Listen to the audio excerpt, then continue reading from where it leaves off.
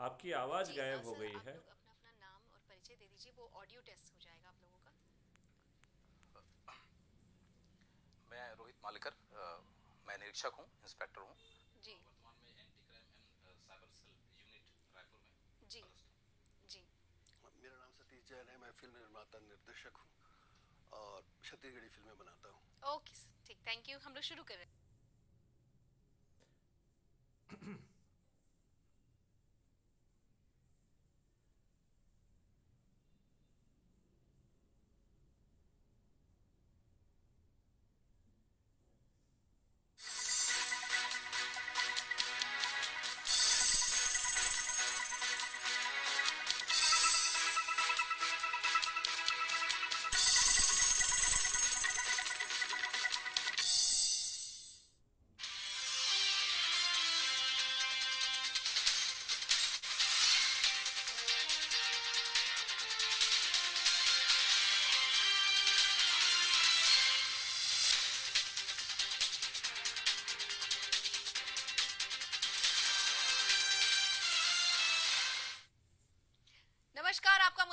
मैं आकांक्षा फिर हाजिर हूँ। हम जो कुछ भी देखते हैं, सुनते हैं, कहीं न कहीं उसका गहरा असर हमारे मन मस्तिष्क पर होता है। विगत कुछ सालों से कुछ ऐसे कार्यक्रमों का प्रसारण बढ़ा है जो अपराध से संबंधित रहे हैं, जिनका उद्देश्य तो था लोगों को जागरूक करना, उनके प्रति लोगों में अवेयरनेस लाना, लेकिन उसके बावजूद उन फ़िल्मों, धारावाहिकों और वेब सीरीज़ में अपराध करने के तरीकों का प्रचार कुछ ज़्यादा कर दिया, जिसका परिणाम ये हुआ कि आज अपराधी भी खुलेआम ये बताते हैं कि अपराध को अंजाम देने का तरीका उनको कहाँ से सूझा? बढ़ते अपराध को देखते हुए आज का मुद्दा है क्या धारावाहिक फ़िल्म और वेब सीरीज़ क्राइम को बढ़ावा दे रहे हैं? और आज के मेहमान हैं सतीश जैन जी वरिष्ठ सिने निर्देशक छत्तीसगढ़ से मैथिली शरण गुप्ता जी सेवानिवृत्त आईपीएस अधिकारी हैं भोपाल से डॉक्टर रूमा भट्टाचार्य मनोचिकित्सक हैं भोपाल से और हमारे साथ जुड़ रहे हैं इंस्पेक्टर रोहित मालेकर। आप सभी मेहमानों का हम स्वागत करते हैं। बहुत बहुत स्वागत आप सभी का। नमस्कार। जी और सबसे पहला सवाल जो है, हम चाहेंगे मैथिली शरण गुप्ता जी से। आपसे पहला सवाल ये है कि क्या लगता है आपको कि अपराध के लिए जो कॉन्सेप्ट आ रहा है, क्या वास्तव में वो कॉन्सेप्ट सिनेमा फ़िल्मों और धारावाहिकों से आ रहा है? आप बिल्कुल ठीक कह रहे हैं कि जब किसी मस्तिष्क को उपाय मालूम पड़ते हैं तो उसका कुत्सित दिमाग जो है, उनको ग्राह्य करके उससे यह सीख लेने की कि अपराध नहीं करना है, यह सीख लेते हैं कि हमें अपराध कैसे करना है। और स्पेशली यदि बैकग्राउंड में सिस्टम जो है ना पावरफुल ना हो, जो कि लोगों को पकड़ सके, जो कि लोगों का संज्ञान ले सके तो यह और भी सहूलियत वाला हो जाता है। यदि आप मुझे इजाज़त दें तो मैं कहना चाहूँगा कि आज की डेट में अपराध एक सबसे बड़ी इकोनॉमिक इंडस्ट्री है। जिसमें कि आप एक फ़ोन करके एक खोखा पा सकते हैं, ऐसा कोई व्यवसाय नहीं है जो एक फ़ोन से आपको एक खोखा दे दे। तो इसमें डबल चीज़ें हैं। एक तो जो है, ये जो वेब सीरीज़ और बाकी चीज़ों से एक जो प्रचार जो है ना, होना चाहिए कि अपराधी को कैसे पकड़ा जाए, अपराधी के बारे में रिपोर्ट कैसे किया जाए, अपराधी की पतारसी कैसे की जाए और अपराधियों को शिक्षा के अंदर कैसे बिठाया जाए वो उल्टा ये प्रचारित करने के लिए उपयोग में आ रहा है कि अपराध करने की विधि क्या हो सकती है, सामग्री कहाँ से मिलेगी और बैकग्राउंड में उसे ये भी मालूम है कि व्यवस्था इतनी लचर है कि अपराध का संज्ञान भी नहीं लिया जाएगा। जो पुलिस अधिकारी बैठे हुए हैं, उनमें ये सामर्थ्य ही नहीं है कि अच्छे ढंग से विवेचना कर सकें और हमारी जो जुडिशियल प्रोसेस है, वो इतनी बेकार और लचर है कि अपराधी को सजा मिलने में वर्षों वर्ष लग जाते हैं।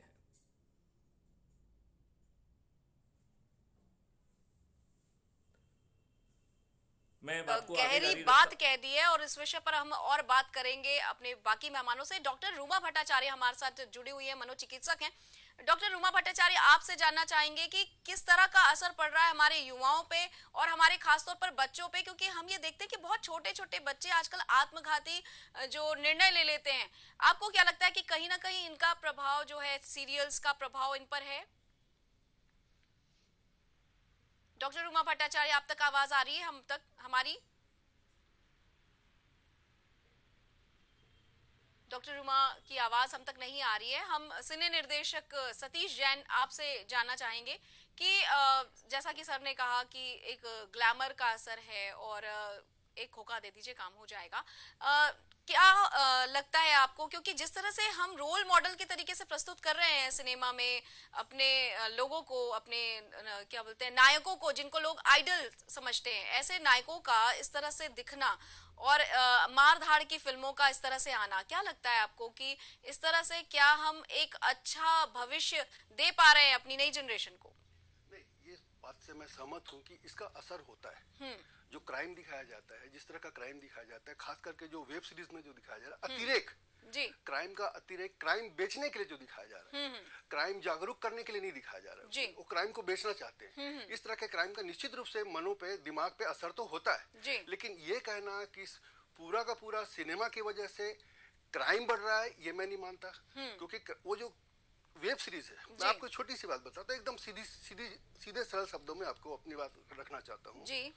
कि वो जो क्राइम का जो भी क्राइम पेट्रोल या जो वेब सीरीज़ है जो हम्म। हिंसक वेब सीरीज़ है जो हम्म। जो हिंसा को बेच रहे हैं वो पूरे हिंदुस्तान में दिखाया जाता है। हम्म। हमारे छत्तीसगढ़ में भी देखा जाता है बहुत ज़्यादा देखा जाता है। लेकिन आप हमारे साथ बैठे हुए हमारे क्राइम ब्रांच के इंस्पेक्टर बैठे जो मुझे जानकारी है हो सकता मैं गलत हूँ मुझे लगता है कि छत्तीसगढ़ में क्राइम बहुत ही कम है क्राइम रेट बहुत कम है। तो उसका असर यहाँ भी होना चाहिए था। छत्तीसगढ़ में क्यों नहीं हो रहा है उसका असर? हम्म, सर एक और चीज़ आपसे पूछना चाहूँगी छत्तीसगढ़ की तो हम बात करेंगे ही। ये जो काल्पनिकता का पुट दिया जाता है ना सिनेमा और या फिर ड्रामेटिक फॉर्म में जब हम क्राइम को दिखाते हैं तो उसका भी बहुत गहरा असर पड़ता है। इस विषय पर पहले मैं डॉक्टर रूमा भट्टाचार्य का जानना चाहूँगी कि उनका क्या मत है। रूमा भट्टाचार्य आपसे मेरा ये प्रश्न है कि आपको क्या लगता है कि इस तरह की जो फ़िल्में हैं वेब सीरीज़ है ये जो धारावाहिक है ये किस तरह का असर डाल रही है नौ निहालों पर और नौजवानों पर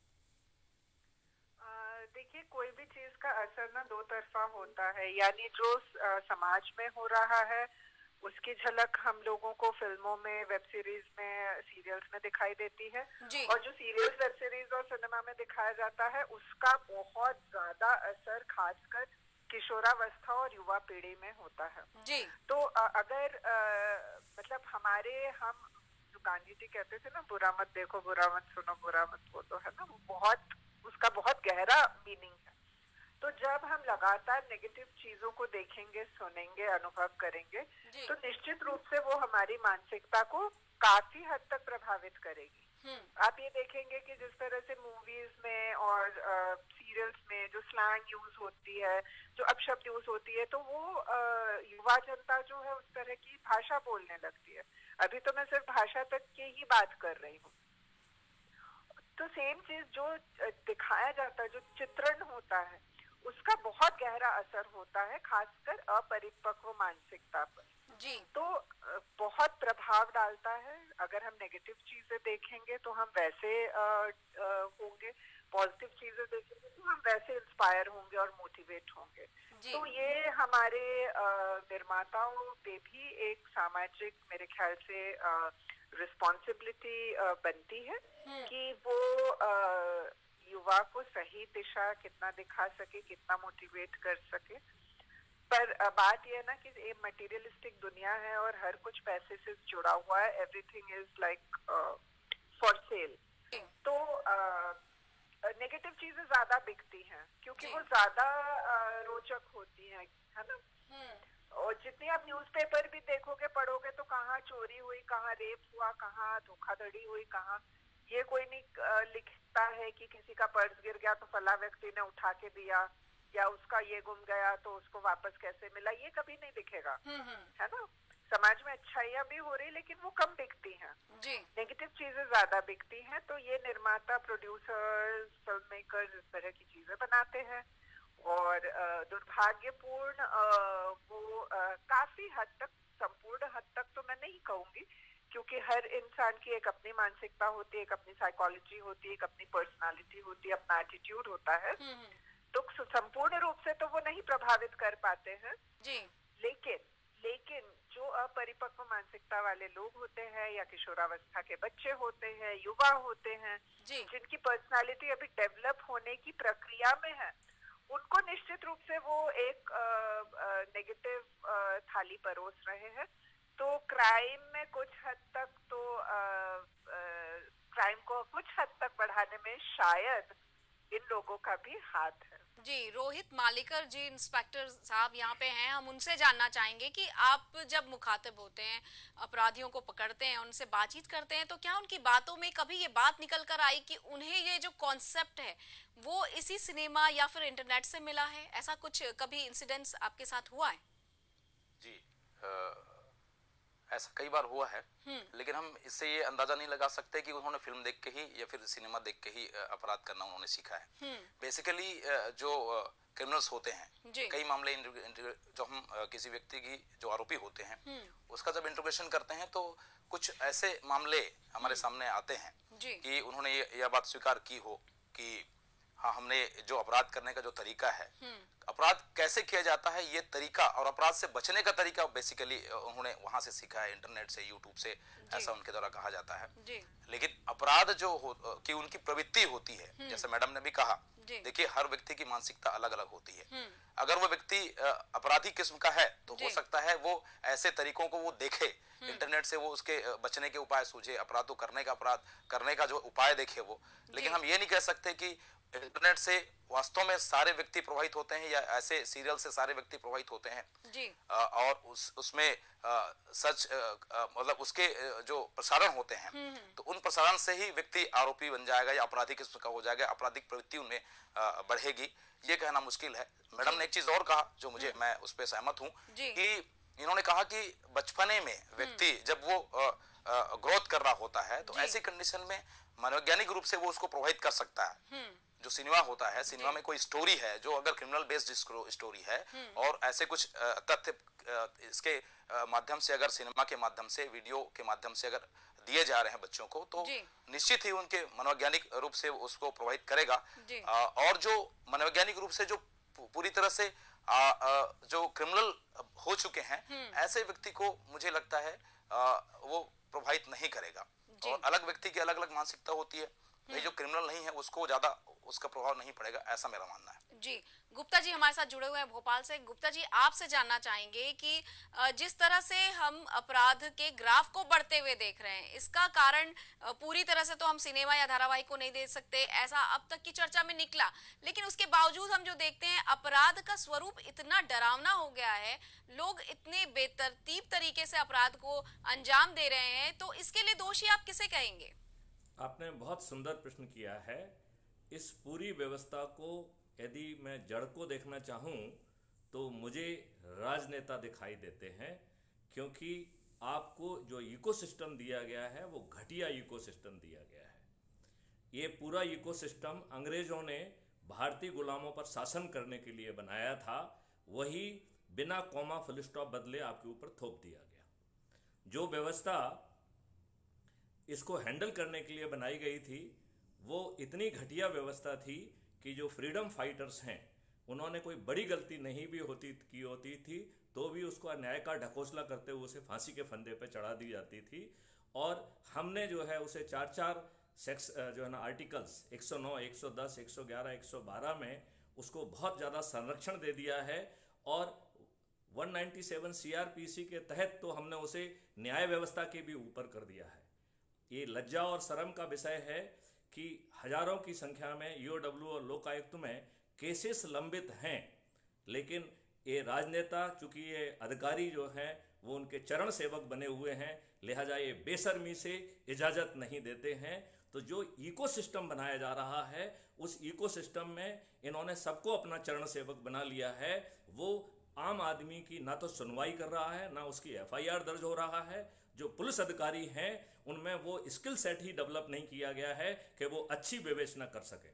जब फरियादी उनको बताता है कि ये चीज़ कर लीजिए, वो बेसरमी से उतना भी नहीं करते हैं जो जनता की आम आदमी जो है ना करता है। एक बात हम आपको और कहना चाहेंगे कि कानून की दृष्टि से भारत का हर नागरिक पुलिस अधिकारी है। सेक्शन 39 सीआरपीसी के तहत उसे, उसके ध्यान में यदि संज्ञान संज्ञेय अपराध आता है तो उसे रिपोर्ट करने का की जिम्मेवारी है और यदि वो इस जिम्मेवारी का निर्वहन नहीं करता है तो उसे प्रोजिक्यूट किया जा सकता है, उसे जेल में डाला जा सकता है और इसमें ज्यूरिस्प्रूडेंस को बदल दिया गया है। यानी सामान्य अपराध के केस में पुलिस और प्रोसिक्यूशन की जिम्मेवारी होती है कि ये सिद्ध करे कि बियॉन्ड रीजनेबल डाउट वह अपराध घटित हुआ है।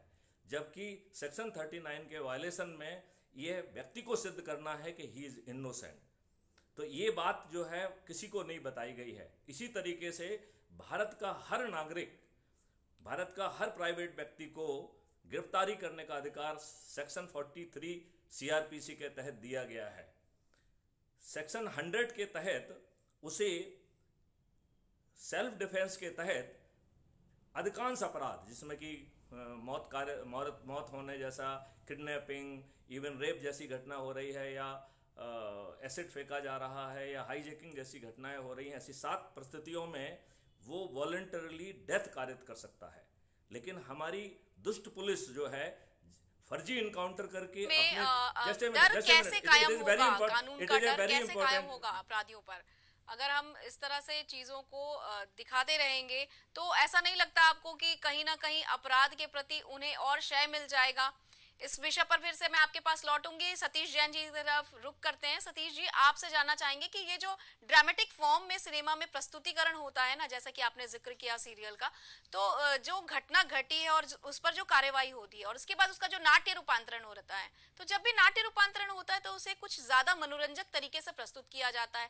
तो ये जो इसका प्रस्तुतिकरण होता है क्या आपको ये नहीं लगता कि ये प्रस्तुतिकरण की वजह से लोगों का आकर्षण जो है इस ओर ज़्यादा बढ़ा है और ये ज़्यादा आक्रामक तरीके से लोगों के दिमाग में मन मस्तिष्क में घर बना रहा है? मैंने पहले भी कहा था कि इसका असर होता है। हम्म। जो बेचने के उद्देश्य से जब बनाया जाता है इस चीज़ को बेचने के लिए ज़्यादा से ज़्यादा लोगों तक पहुँचाने के लिए हम्म, हम्म। अपनी टीआरपी बढ़ाने के लिए अपना वीडियो में अपने व्यूवर्स बढ़ाने के लिए। तो जब वो ज़्यादा से ज़्यादा बढ़ाने का जब की महत्वाकांक्षा जब आती है हम्म। तो वो ज़्यादा से ज़्यादा उस चीज़ को दिखाते हैं जिस चीज़ को ज़्यादा से ज़्यादा लोग पसंद करते हैं। जैसा कि मैडम ने कहा बहुत अच्छी बात कही रूमा जी की हर बात से मैं बहुत सहमत हूँ। उन्होंने जिस तरह से कहा कि जो निगेटिव चीज़ें हैं वो लोगों को खास करके युवाओं को किशोरों को बच्चों को उनको ज़्यादा आकर्षित करती है। हम्म। तो वो वैसी चीज़ों को देखते हैं। उन्हीं के हाथ में मोबाइल है।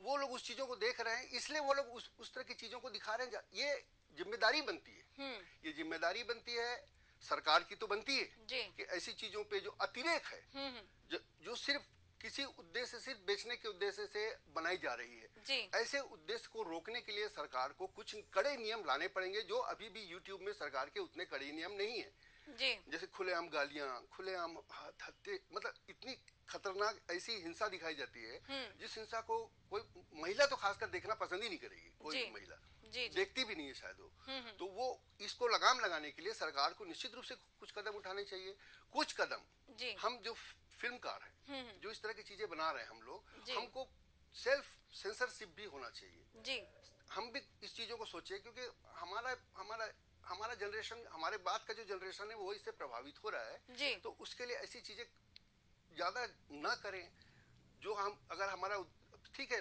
वो भी बिज़नेस कर रहे हैं। हम्म। वो भी धंधा कर रहे हैं पैसा लगा रहे हैं। करोड़ों अरबों में आजकल कारोबार कारोबार चला गया पैसा लगता है। तो अपनी चीज़ों को वापस लेकिन वो अतिरेक से बचे। जी। और खुद सेल्फ सेंसर होना चाहिए उनको मालूम होना चाहिए कि आप कहानी कहानी को इतना इंटरेस्टिंग बनाइए हम्म। कि ऐसी चीज़ों की आपको सिंबॉलिक रूप में ज़रूरत पड़े। एकदम ज़्यादा सीधे डायरेक्ट दिखाने की ज़रूरत ना पड़े। रूपांतरण जब आप करते हैं इसका क्राइम का जब रूपांतरण करते हैं। जैसे उदाहरण मैं आपको एक बात बोलना चाहता हूँ कि हमारी जो। छत्तीसगढ़ी फ़िल्में हैं हम्म। हम लोगों ने सेल्फ सेंसरशिप लगाया हुआ है। हम्म। हमारी मैक्सिमम फ़िल्मों को जी। मतलब 90 परसेंट फ़िल्मों को यू या यूए सर्टिफिकेट मिलता है। मुझे याद नहीं है कि एक आध फ़िल्म को छोड़ के आज तक किसी भी फ़िल्म को सेंसर बोर्ड ने ए सर्टिफिकेट नहीं दिया। हम लोग फ़िल्में कैसी बनाते हैं? ज़्यादातर लोग। हम्म। सारी हम लोग फ़िल्में बनाते हैं फैमिली बेस्ड बनाते हैं लव स्टोरी होती है पारिवारिक कहानियाँ होती है। हम हिंसा को और एक्सपोजर को हम्म। मतलब महिलाओं के एक्सपोजर को।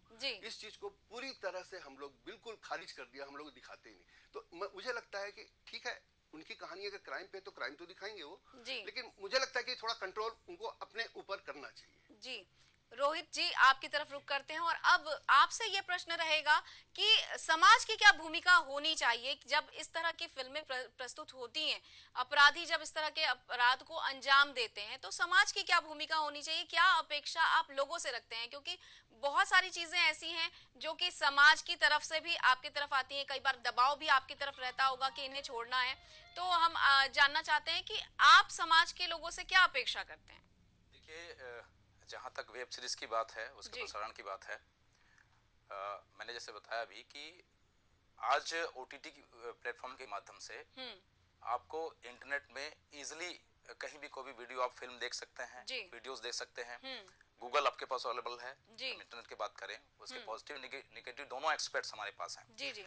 जहाँ आपको जानकारियाँ आसानी से अवेलेबल हो जाती हैं गूगल के माध्यम से। वीडियोस आप आप मोबाइल हमारे पास आ गए हैं स्मार्टफ़ोन से हमारे पास।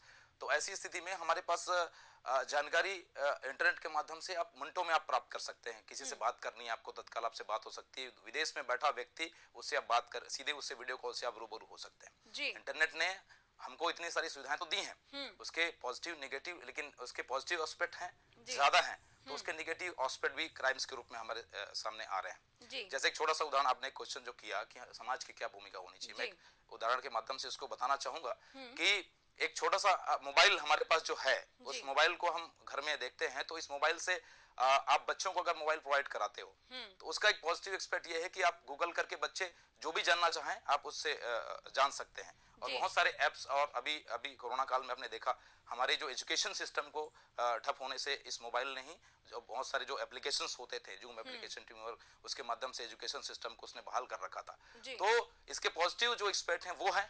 इसके अलावा निगेटिव एक्सपेक्ट ये है कि बच्चे क्या देख रहे हैं मोबाइल में हम्म। उसका समाज में क्या प्रभाव पड़ेगा। जो। आपने जो अभी प्रसारण की बात की अलग अलग टीवी सीरियल्स होते हैं हम्म। अलग अलग जैसे वीडियो हाँ वेब सीरीज़ आ रहे हैं यूट्यूब्स हैं। हम्म। इसमें इतने सारे चीज़ें जैसे एक और चीज़ बताऊँगा आपको डार्क वेब एक इंटरनेट में एक नाम होता है जिसमें कई प्रकार की इलीगल चीज़ें बेची जाती हैं अच्छा। तो ये भी एक इसकी दुनिया में लोग टेक्नोलॉजी आने के बाद प्रवेश कर रहे हैं और उससे अपराध बढ़ रहा है तो ये एक, एक सिस्टम ये भी है जैसे पेरेंट्स की क्या ज़िम्मेदारी होती है सोसाइटी के बाद अगर अपन करें हम्म। तो पेरेंट्स की क्या ज़िम्मेदारी होती है हमारी ज़िम्मेदारी ये है कि हम मोबाइल में बच्चों को क्या दिखाना चाह रहे हैं जी।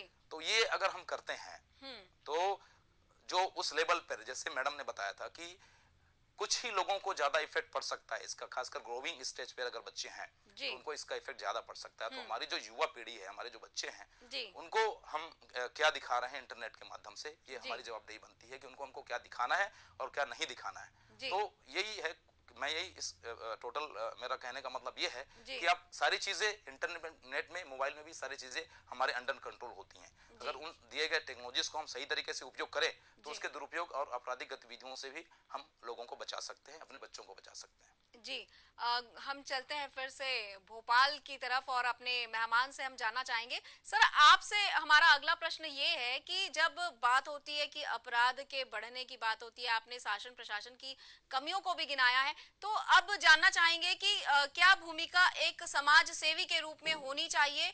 लोगों की और किस तरह से हम इस अपराध के ग्राफ को रोक सकते हैं? क्योंकि अक्सर जब कहीं अपराध घटित हो रहा होता है तो आसपास के लोग मौन रहते हैं और कई बार हमारा मौन रहना भी अपराध को अंजाम देने के लिए काफ़ी होता है। तो इस विषय पर आपका मत जानना चाहेंगे। देखिए बहुत आ, आसान सी बात है कि जिस टेक्नोलॉजी की हम बात कर रहे हैं उसी टेक्नोलॉजी को उसी आर्टिफिशियल इंटेलिजेंस को उसी डीप लर्निंग को हम बहुत इफ़ेक्टिवली प्रोएक्टिवली कंटेंट कैप्चर करने के लिए यूज़ कर सकते हैं। दूसरी बात जो आपने पहले कही है कि उसमें जो लॉ का फ्रेमवर्क है, वो बहुत स्ट्रॉन्ग बनाना चाहिए। और थर्ड जो एस्पेक्ट है कि हम प्रोजिक्यूशन वाले पार्ट में उसकी कैप्चरिंग एविडेंस की बहुत इफेक्टिवली करें और हम जल्दी से उसे प्रोजिक्यूट कर सकें। Within thirty days if it is possible हमें अपना इकोसिस्टम को थोड़ा सा रीडिज़ाइन करना पड़ेगा। और चूँकि भारत का हर व्यक्ति एक पुलिस अधिकारी है लीगली उसे पावर ऑफ़ अरेस्ट भी है तो हम जो है सोसाइटी को इंटीग्रेट करें एजुकेट करें और उसको वो फ़ीड इमीडिएटली जहाँ पे भी उसको ऑब्जेक्शनेबल फ़ीड लग रही है that feed content should be broad to the law enforcer और उस पर कॉग्निजेंस लेके कार्रवाई की जाए, क्योंकि ये दोनों चीज़ों को बैलेंस में चलना पड़ेगा। एक तरफ़ कि कंटेंट को हम ना आने दें, एक स्पष्ट गाइडलाइंस हो और देखिए कॉमर्शियल इंटरेस्ट वाला तो घटिया चीज़ अपनी टीआरपी बढ़ाने के लिए लाएगा, उसे जो है ना समाज से कोई लेना देना नहीं है। क्योंकि ये समाज के जो मापदंड है वो इतने गिर गए हैं कि हम जो है ना नकली दवा बेचने में शर्म नहीं महसूस करते हैं। तो जिससे कि आदमी की जान खतरे में पड़ सकती है तो ये कंटेंट तो बहुत छोटी सी बात हो गई है। और इंटरनेट पे इतना वाइडली जो है ना नेगेटिव कंटेंट अवेलेबल है हम टेक्नोलॉजी का यूज़ करके, हम सोशल समाज का यूज़ करके उस कंटेंट की रिपोर्टिंग को फैसिलिटेट करें एंड प्रॉम्प्ट एक्शन के माध्यम से यदि हम कार्रवाई करेंगे तो एक तरफ़ एजुकेशन आ जाए, एक तरफ़ जो है ना समाज के लोगों को साथ में लेने वाली बात हो, तीसरा उसका इफ़ेक्टिव इन्फोर्समेंट हो the three cumulative factors would be helping the society लेकिन उसके लिए सबसे बड़ी जिम्मेवारी आज के राजनेताओं की है टू प्रोवाइड द इकोसिस्टम हम लोग जो जो भी यहाँ चर्चा करते हैं, उसका इकोसिस्टम पे कोई कंट्रोल नहीं है। वो सिर्फ़ कहानियाँ कहता है, जिस कहानियों का कोई लेना देना नहीं है। इनके सुझावों का ज़मीन पे कोई असर नहीं पड़ने वाला है because eco control is not there in any one of ours control तो इको जो सिस्टम है, उसको हमें रीडिजाइन करना चाहिए। If we can really control this eco system I am very sure the whole environment will change देखिए हम India में रहते हैं तो हमारा बिहेवियर कुछ अलग होता है। जब हम विदेश जाते हैं बिकॉज़ वहाँ का सिस्टम चलते चलते सतीश जी से एक आखिरी प्रश्न लेना चाहेंगे कि जो लोग इस तरफ़ सिने निर्देशक के क्षेत्र में आगे आ रहे हैं खासतौर पर वेब वेब सीरीज़ का जो निर्माण कर रहे हैं और ये जो मारधाड़ वाली फ़िल्में आ रही है या अपराध को बढ़ावा देने वाली जो सीरीज़ आ रही है जो नए लेखक उभर कर आ रहे हैं उनके लिए क्या संदेश देना चाहेंगे आप? अपराध को बढ़ावा तो दे रही है एक हद तक दे रही है पूरी तरह से अपराध को बढ़ावा दे रही है ये बात से मैं बिल्कुल समझ नहीं हूँ। क्योंकि अपराध तो तब भी था जब सिनेमा का आया नहीं था। आज से सौ साल पहले जब सिनेमा नहीं था तब भी अपराध था। इतना ही ब्रूटल अपराध था इतना ही इतना क्राइम आज से कहीं ज़्यादा रहा होगा उस समय। जी। मैं दावे के साथ कहता हूँ जब राजा महाराजाओं के जमाने में जो क्राइम होता था या जो विदेशी शासक हमारे देश में आए उन्होंने जो क्राइम किया या हिटलर ने जो आ, हिटलर ने जो क्राइम किया पे नाजियों जल्दी जी, हाँ जी, जी, तो इसलिए ये कहना गलत है लेकिन हाँ हम। मैंने पहले भी कहा था भी कह रहा हूँ कि हमको खुद एक सेल्फ लाना सेल्फ सेंसरशिप लाना चाहिए ताकि हम आने वाली जनरेशन को हम्म। सुरक्षित रख सके इन सब क्राइम से। जी आप सभी मेहमानों का बहुत बहुत धन्यवाद जिन्होंने कीमती वक्त हमें दिया और इतने महत्वपूर्ण विषय पर अपने विचार हम तक रखे। आप सभी का बहुत बहुत धन्यवाद। दर्शकों आपसे सिर्फ़ इतना कहूँगी कि अपनी ज़िम्मेदारी समझिए सचेत रहिए सजग रहिए किसी और विषय पर होगी आपसे मुलाकात। तब तक कीजिए थोड़ी सी प्रतीक्षा थोड़ा सा इंतज़ार। नमस्कार।